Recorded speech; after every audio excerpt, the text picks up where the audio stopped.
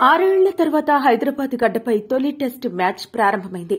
Rajiv international stadium వేదికగా నేటి నుంచి ఐదు రోజుల పాటు జరుగుతున్న పోరులో భారత్ ఇంగ్లాండ్ జట్లు అమీతుమీ తేల్చుకోనున్నాయి.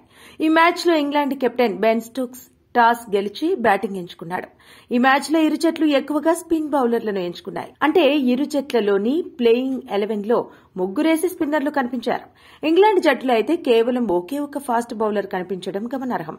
టీమిండియా ప్లేయింగ్ ఎలెవెన్లో అక్షర్ పటేల్ రవీంద్ర జడేజా రవిచంద్రన్ అశ్విన్లను స్పిన్ ఆల్రౌండర్లుగా చేర్చారు. అలాగే వికెట్ కీపర్ బ్యాట్స్మెన్గా కేఎస్ భరత్ జట్టులో ఉన్నాడు. ఈ మ్యాచ్లో Team India senior bowler Ravichandran Ashwin చరిత్ర సృష్టించాడు. వరల్డ్ టెస్ట్ ఛాంపియన్షిప్ చరిత్రలో నూట యాభై వికెట్లు తీసిన మొదటి భారత బౌలర్గా నిలిచారు. ఇంగ్లాండ్ బ్యాటర్లు బెండకేట్ జాక్ క్రాలిను అవుట్ చేయడం ద్వారా డబ్ల్యూటీసీ చరిత్రలో అశ్విన్ నూట యాభై వికెట్లను పూర్తి చేసుకున్నాడు. అలాగే ఈ మ్యాచ్లో రవిచంద్రన్ అశ్విన్ రవీంద్ర జడేజా బౌలింగ్ జోడీ కూడా సరికొత్త రికార్డు నెలకొల్పింది. అంతర్జాతీయ టెస్టు క్రికెట్లో టీమిండియాకు వీరిద్దరూ కలిసి ఐదు వందల వికెట్లను పూర్తి చేసుకున్నారు. దీంతో టీమిండియా తరపున ఐదు వందల వికెట్లు తీసిన తొలి బౌలింగ్ జోడీగా అశ్విన్ జడేజా చరిత్ర సృష్టించారు.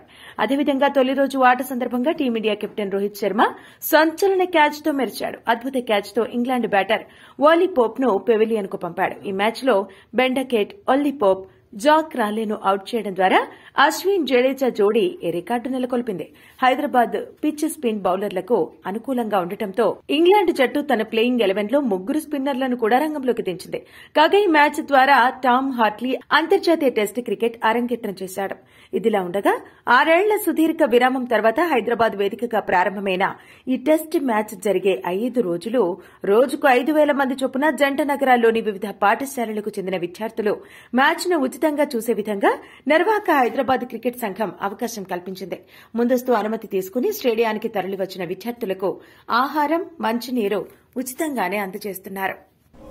మరిన్ని అప్డేట్స్ కోసం మా ఫోకస్ న్యూస్ తెలుగును సబ్స్క్రైబ్ చేయండి. ఈ వీడియో కనుక మీకు నచ్చినట్లయితే లైక్ చేయండి షేర్ చేయండి. మీ విలువైన అభిప్రాయాలను కామెంట్ బాక్స్లో తెలియజేయండి.